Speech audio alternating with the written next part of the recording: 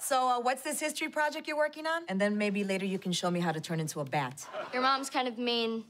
I'm obsessed with her.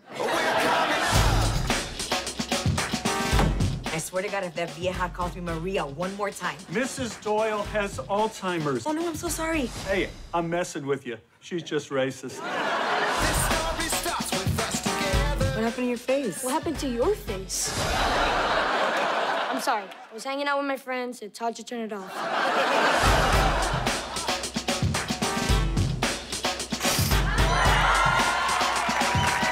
We have a problem. Your daughter does not want to have a princess. What? We already booked the room, and I found a great band. Okay, it's your brother with an iPod and a playlist, but it's a very good playlist. I went to war, I got hurt. And when I came back, there was an organization set up to help me and other veterans get the help we need.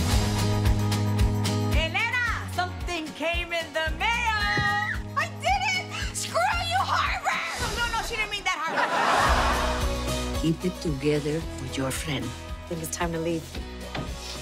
thought you said I was supposed to keep it together. Well, that's true.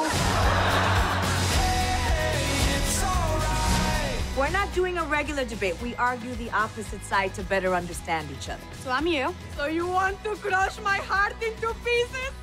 That's not me, that's her. You make me sound like I have an accent. I haven't you guys the best part. Play my jam. No! Break my